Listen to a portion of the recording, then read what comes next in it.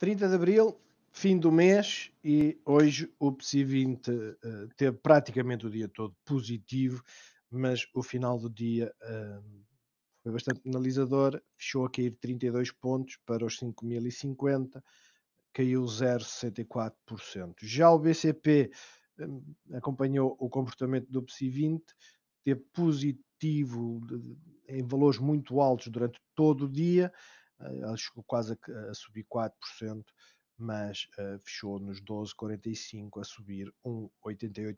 CTTs caiu hoje 1,17% para os 3,79%.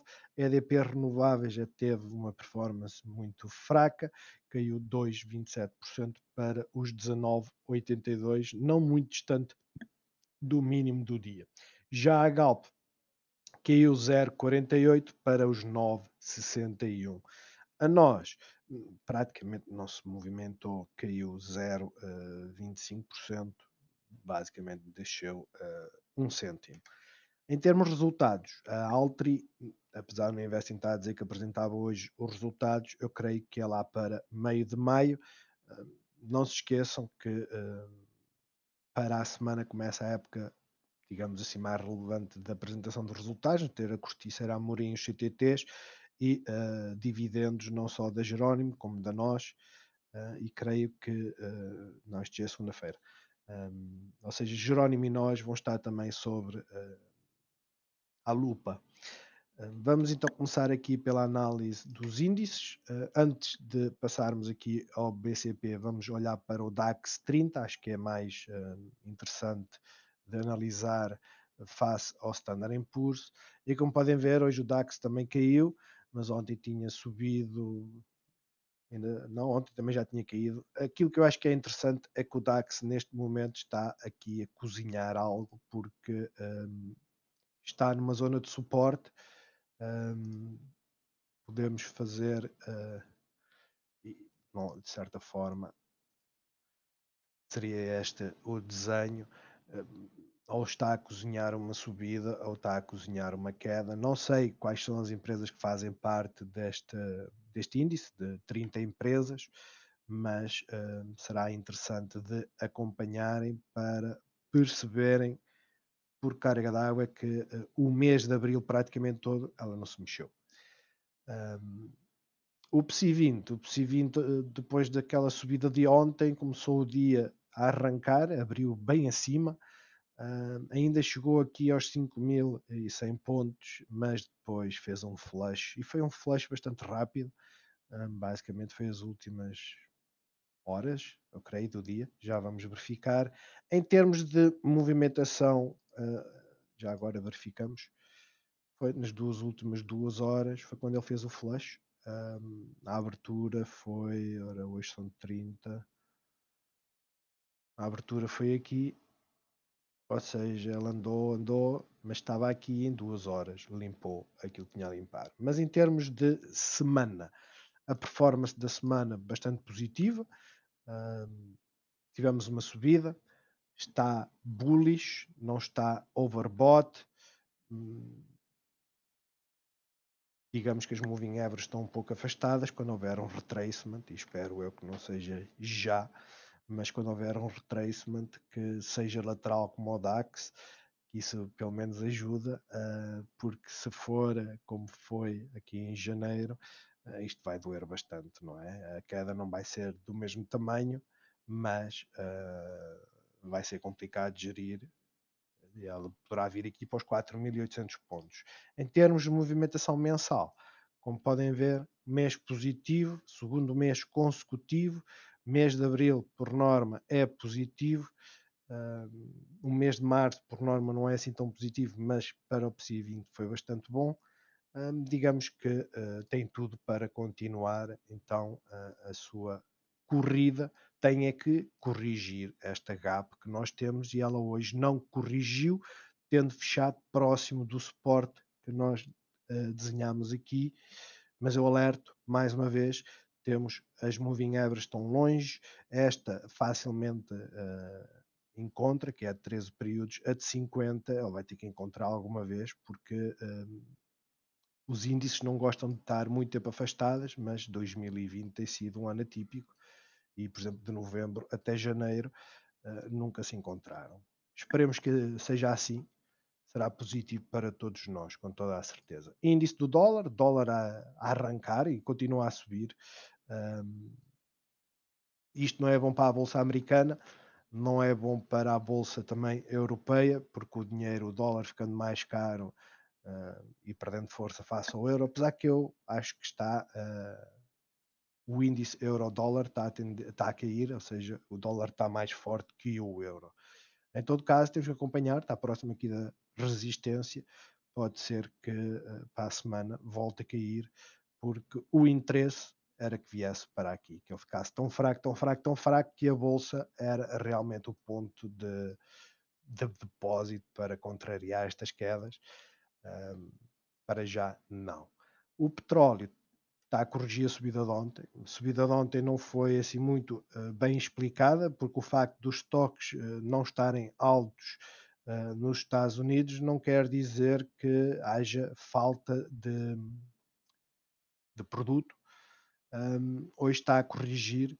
Honestamente, espero eu que também não corrija muito mais, porque lembre-se, dia 1 de abril começa um, o tal aumento de produção da OPEP, oficialmente, claro, um, e vamos ver se a procura uh, acompanha a oferta, porque se não acompanhar, se for menor, o preço do petróleo irá cair. Um, Standard Poor's hoje, como podem ver, tudo praticamente não há um setor que esteja verde, eh, ou pelo menos que manifestamente esteja verde. O setor do petróleo negativo, a Chevron e a ExxonMobil, uh, ambos uh, apresentaram resultados. Eu creio que a Chevron falhou, uh, foi tal e qual como a, a Galp, ou seja, falhou no, na faturação, nas vendas. a Exxon bateu mas foi ligeiramente. Eu creio que a Exxon foi ligeiramente, mas bateu. Em todo caso, está a corrigir porque nos últimos dias tem andado a subir e, como é óbvio, fizeram sell-off para eh, encaixar lucros. Já o setor financeiro está, está a contrariar as subidas dos últimos dias. Um, comparando este, esta movimentação com a movimentação do BCP, o BCP está muito bem. Em termos de grupos, como podem ver, não há um, uh, tirando aqui os utilities, e, e, quem, quem se recorda, eu tinha dado há uns, já não sei quando é que foi, se foi no fim de semana passado, tinha dado o exemplo de quando os utilities e os consumer staples, que são os cíclicos, salvo erro, um, estão a subir, estão a liderar, o resto do mercado está a cair. Isto é sintomático Uh, vamos manter uma, o olho nisto, porquê? Porque eles normalmente anunciam quedas. Um, para já, nada especial. O setor com maior queda, o setor energia e uh, o tecnológico, como é apanágio tecnológico, é muito volátil. Termos, em termos, em termos de, de energias renováveis, a Brookfield continua a cair. EDP Renováveis, como eu tinha falado hoje, teve uma queda inesperada. Inesperada para mim. E inesperada porquê? Porque ela tem andado a respeitar sempre as, as, os suportes, as linhas de suporte, e esta simplesmente ignorou-a. Andou a manhã toda aqui próximo e depois o sell-off do final do dia ignorou-a e ultrapassou-a. Neste momento aliás, não é neste momento, desde que começou a correção que estava bearish, aqui ainda pensámos que poderia estar um, numa onda de subida, no entanto, não, ela continua com uma tendência de queda, aliás, se formos a ser honestos, ela neste momento está a fazer este desenho, um, está a fazer cada vez mais uh, higher lows, um, aquilo que eu penso que vai acontecer e que será o mais lógico é que, eu vou tirar daqui os desenhos para se notar, é que por norma ela ganha suporte na moving average a 50 períodos e arranca. Não é necessário chegar a, a esse ponto, uh, de facto, um, mas acabou por ultrapassar uma moving average que também é importante, que é a Moving Average a 13 períodos, que normalmente faz bounce e arranca, uh, não o fez. A apresentação dos resultados tem, salvo erro, a meio do mês. Vamos ver como é que corre.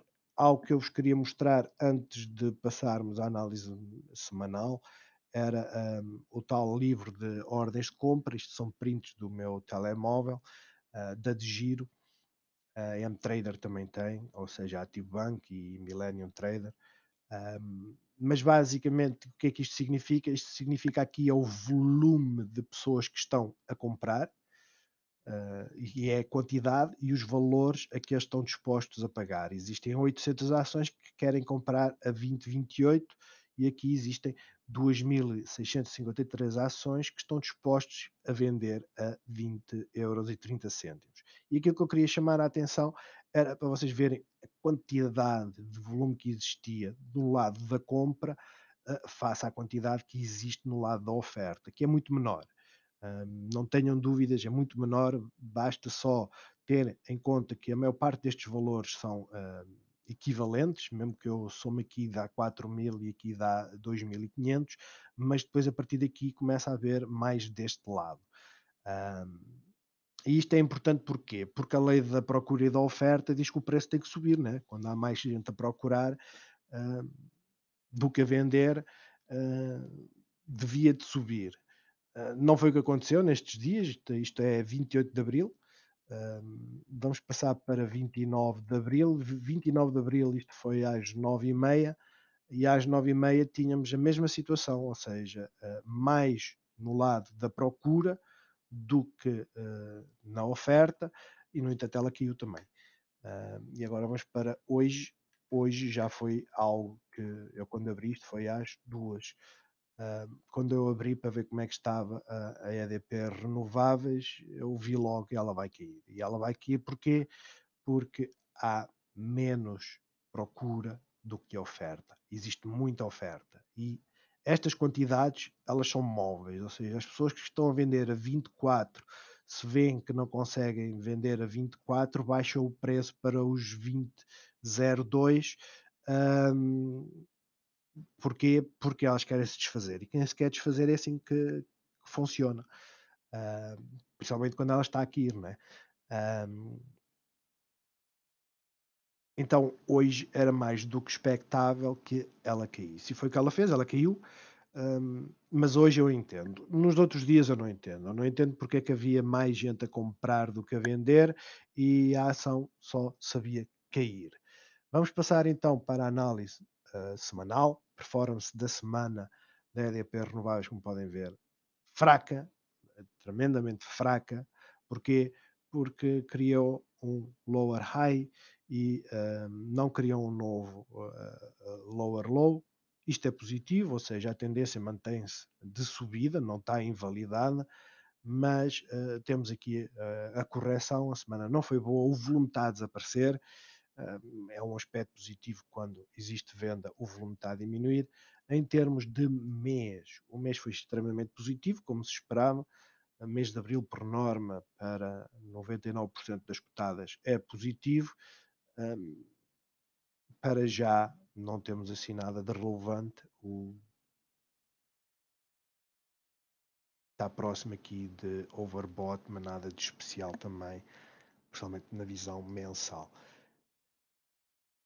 Analisando os nossos suportes, como eu tinha falado, performance foi muito fraca. Eu já movi, porque eh, eu já devia ter mudado ontem, né? porque a nossa flag já desapareceu faz tempo. Uma flag não pode ser tão estendida.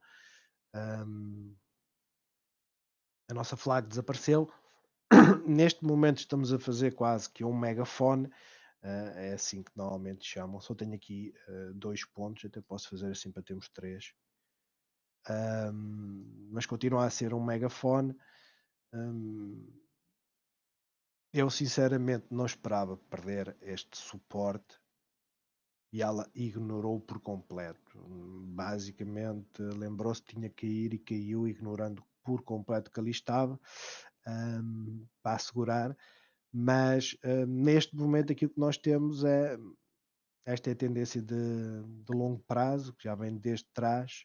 Este era o canal ascendente que nós tínhamos. pode ser um falso break, uh, breakout, ou seja, aquilo que se chama um, um bull trap, um, mas ela caiu hoje 2,27%. Dificilmente nos próximos dois dias volta aqui a entrar. Vai ser necessário algum volume ou alguma inversão. Ela neste momento está barata, mas pode ficar ainda mais barata nos 19,60, 19,50, que é onde também existe uma grande concentração de ações. Uh, vamos então ver aqui uh, para segunda-feira, o que é que pode acontecer? Nós estamos hum, em períodos extremamente voláteis, apresentação de resultados, uh, dividendos. Os dividendos dão alguma garantia que nós sabemos para onde é que as ações vão, mas os resultados não. Uh, por isso, uh, contem com essa, essa variável um, que pode, pelo menos, alterar um pouco as nossas fórmulas, por assim dizer. Continuidade de movimentação vir diretamente para aqui. Como eu tinha falado, ela estava aqui no suporte dos 20 euros e depois lembrou-se de ignorar. Ela simplesmente ignorou e foi, não volto cá mais. Um, ter aqui suporte nos 19,68 e os 19,60. Caso uh, ultrapasse este suporte, nós neste momento estamos abaixo das moving averages. Uh, se perder este suporte, ela vem para os 19 tem aqui uma concentração aqui nos 19,40, mas um, fará um retracement completo, o que é completamente atípico, um, mas nós temos que ver as coisas como elas são e tecnicamente é possível. Já numa perspectiva de inversão, a inversão é trazer-nos de volta para um, aquilo que é a nossa resistência agora, que é os 19,98 entrar aqui na nuvem, encontrar-se com os moving averages e, uh, caso haja pressão de compra, vir para os 20, 30. Vamos passar aqui à Galp. O dia hoje também não foi assim muito bom, caiu meio por cento, o volume está a aumentar. Ficou aqui entrincheirada entre uh, as duas moving averages. Para a semana vai ser, uh, a segunda-feira pelo menos vai ser de decisão.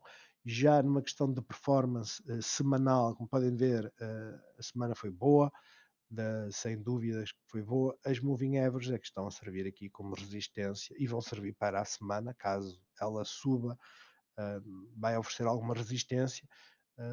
vamos ver como é que ela se comporta. A apresentação de resultados está feita pelo menos temos esse uh, ponto de lado. A maior parte das uh, europeias e um, ehm, das americanas, hoje, as duas americanas apresentaram resultados muito semelhantes ao, aos da Galp, ou seja, uh, não bateram as vendas, um, ehm, aumentaram de certa forma as margens. As americanas tiveram algumas especificidades, houve certos setores que eles não conseguiram melhorar as margens, principalmente na extração de gás, salvo erro, eh, mas isso também tem a ver com a, o paradigma que é, um, digamos, a economia europeia e americana, em que nos Estados Unidos é mais fácil dispensar as pessoas que na Europa, e digamos que uh, eles agora não conseguem, agora provavelmente estão a contratar e não a despedir como faziam antes e não tinham que pagar indenizações, por isso adiante. Em todo caso, no mensal, suporta moving average a, a cinco períodos, é claro, o mês de abril não é uh, o mês deste tipo de cotadas, mesmo assim não foi tão penalizador como poderia ter sido, para já é esta a perspectiva que nós temos ainda está em níveis muito baixos de RSI. Vamos então agora passar aqui à movimentação por dia para vermos um, quais são os suportes que nós temos no imediato. No imediato, este aqui passa a resistência, ou seja, os 962 passaram a ser resistência. Continuamos a ter aqui um, esta linha devia de estar a fazer um triângulo, não era? Ah, não, é o coisa. Neste momento, aquilo que temos, temos suporte da Moving Average, temos aqui suporte da nuvem, a nuvem também dá suporte, ou seja, a nuvem é aqui nos 9.55 e depois temos o nosso uh, canal que também tem sido suporte. Aquilo que realmente é uma pena, estava à espera que ela viesse aqui, uh, mesmo que houvesse estas quebras, e atenção, ainda pode ser possível, como é óbvio, ela subiu um dia, corrigiu dois, subiu, corrigiu, subiu, uh, isto ainda pode acontecer, mas para já são estes os suportes mais imediatos que nós temos, em termos de resistências, como é óbvio, os 9,73 e os 9,81, já em termos de volume aumentou ligeiramente hoje. A RSI está a apontar para baixo, não está sequer nos 50, que é uma pena, porque estava a subir. Não, não estou a ver uma divergência aqui, está tudo nos conformes. Vamos então ver a uma hora e a uma hora realmente foi um comportamento volátil e volátil porquê? Porque basicamente ela começou uh, aqui em cima, né? Uh, fez uma queda, andou aqui por baixo o resto da manhã, depois do almoço subiu e na hora a seguir caiu. Uh, é extremamente complicado para quem está a gerir posições, mesmo para swing, quando isto acontece. Mas para já é isto que tem que lidar com esta volatilidade e, num sentido de continuidade, encontrar-se com o moving average Ultrapassando a Moving Average temos os 9,55 e aqui os 9,46 será já uma queda de curto prazo hum, bastante importante. Termos de subida, temos uh, os 9,68 como resistência, depois temos os 9,73 e caso ela consiga ultrapassar, vir aqui novamente para os 9,81.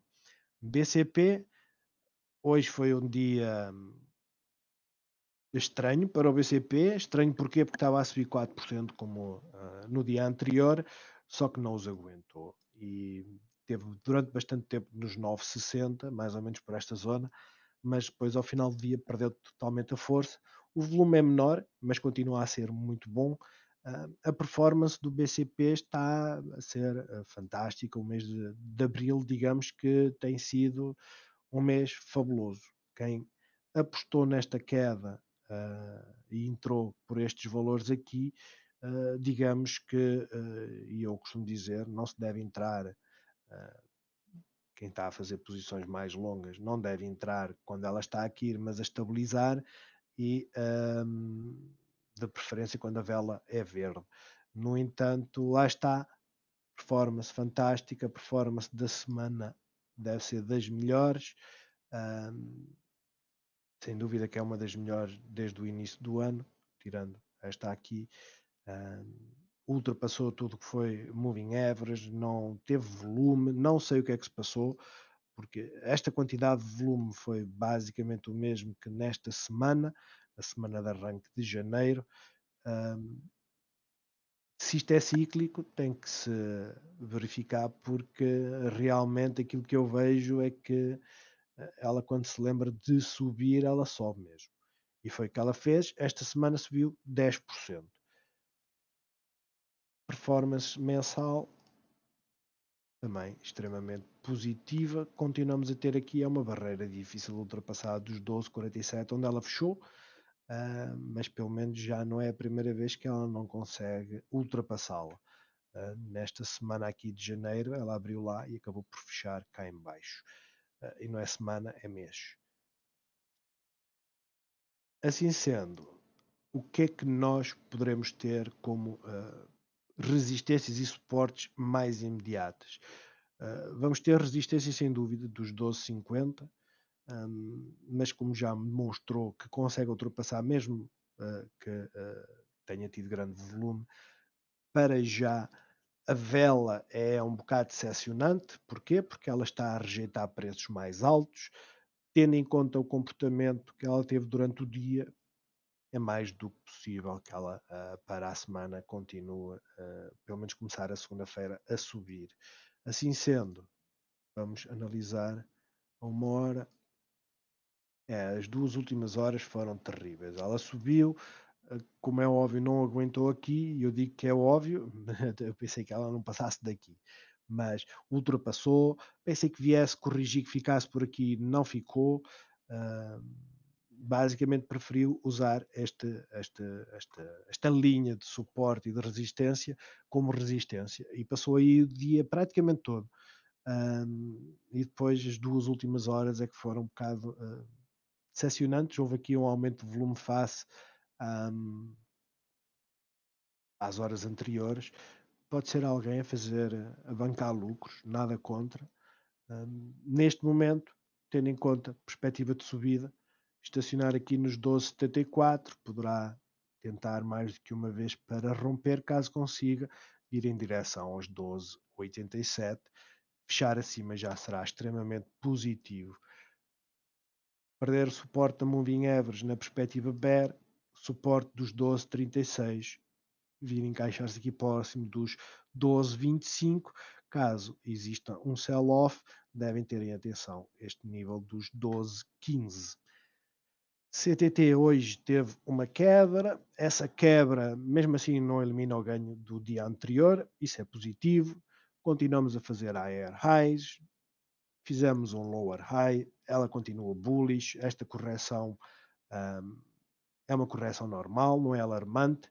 Um, continuamos em uh, zonas de, de overbought, uh, sem dúvida. Uh, continuamos com a divergência, não sei porque desapareceu. Eu não tinha desenhado aqui ontem, eu creio que tinha desenhado aqui ontem. Ah, tá, tá. Eu é que estou a dormir. um, a performance continua a ser boa. E se formos analisar uh, a semanal, dá para perceber que ela está muito estendida, uh, mas continua a subir. E quem desde os 2,5, salvo erro, foi quando eu comecei. Não, não foi 2,5. Mas já não me recordo quando é que eu comecei a acompanhá-la, se foi dos 3, 3,5, não sei. Mas deve ter sido a partir dos 3. ela não faz mais nada se não subir. Teve apenas uma semana em que corrigiu e, na visão uh, mensal, como podem ver, extremamente positivo. Ela costuma fazer. E aqui já tinha 4 meses a subir, mas isto aqui foi da quebra de agosto. Um, é tal coisa, nada contra. Ela continua assim, é bom. Vai chegar à parte dos dividendos que ela vai uh, aterrar um pouco. Um, a apresentação dos resultados ainda falta algum tempo. Vamos ver como é que correm as coisas, mas para já ela continua bullish. Não, não há dúvidas disso. Isto está fora do sítio, porque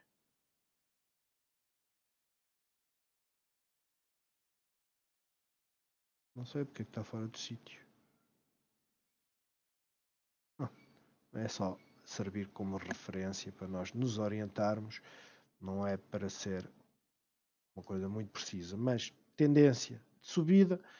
Um, não testou a resistência dos 3,88, não testou o suporte dos uh, eh, 3,79. O volume subiu hoje ligeiramente. Um, devem ter a atenção que, para além dela estar estendida, tem esta questão da divergência. Movimentação horária para segunda-feira. Eu creio que se mantém as mesmas indicações que eu dei ontem, ou seja, é preciso terem atenção que um, ela está estendida, que pode começar uma correção, um, mas tendo em conta a nossa linha de tendência, numa perspectiva bearish, vir aqui aos 3,76, caso consiga ultrapassar, encontrar-se com moving average, e uh, já será muito difícil ela vir aqui aos 3,69, mas é possível, como também é possível vir diretamente aqui para a linha Fibonacci. Um, eu já não me recordo quando é que são os dividendos, mas devem ter isso em mente, uh, porque na data dos dividendos ela vai cair, um, o que é natural, um, mas devem ter isso e atenção para depois não se assustarem, ok?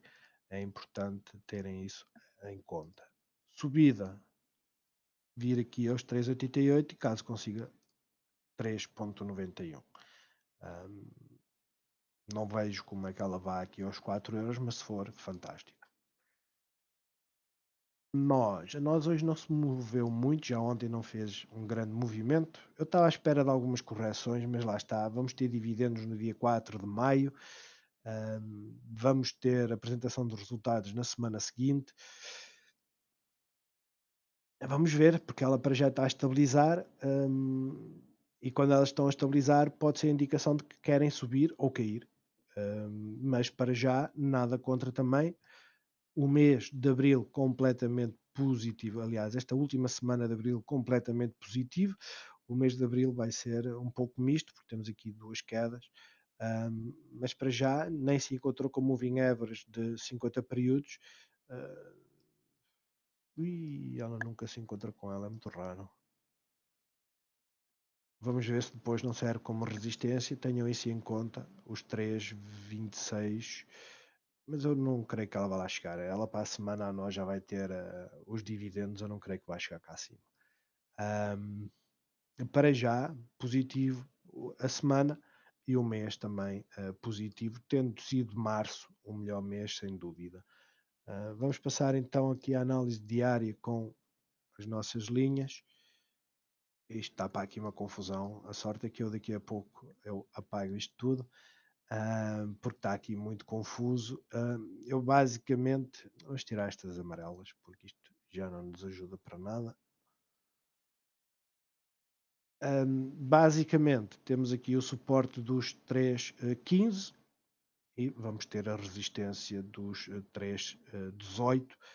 Pelo menos para já é aquilo que podemos ver porque uh, realmente 3 de maio, segunda-feira, e depois no dia a seguir temos o registro do dividendo. Uh, amanhã, segunda-feira, não se deve movimentar muito. Não...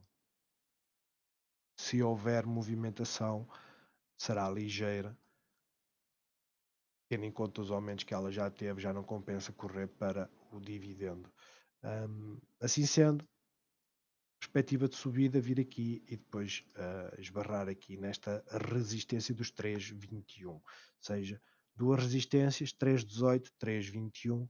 Em termos de suportes, uh, fechamos ligeiramente uh, abaixo, salvo erro deste suporte, mas ela pode começar já a subir um cêntimo e, e ganha suporte, depois quebrando, vir aqui em direção aos 3,10, já num caso extremo, o normal será vir e ficar por aqui nos 3.13, onde também tem grande concentração.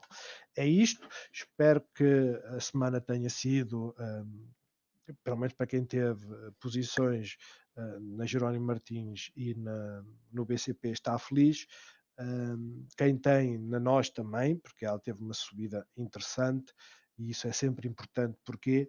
porque o registro do dividendo vai cair praticamente aqui em cima da, da GAP uh, e a GAP depois estando eliminada poderá haver interesse em fazê-la subir porque temos a apresentação de resultados também uma semana depois uh, parece-me bem eu só tenho pena de que ela não tenha tido o mesmo comportamento e como não teve o mesmo comportamento eu uh, preferi não avançar jogar com o dividendo, uh, porque eu achava sinceramente que era mais ou menos por aqui, não era? Que ela ia quebrar, mas ela quebrou, mas foi um pouco.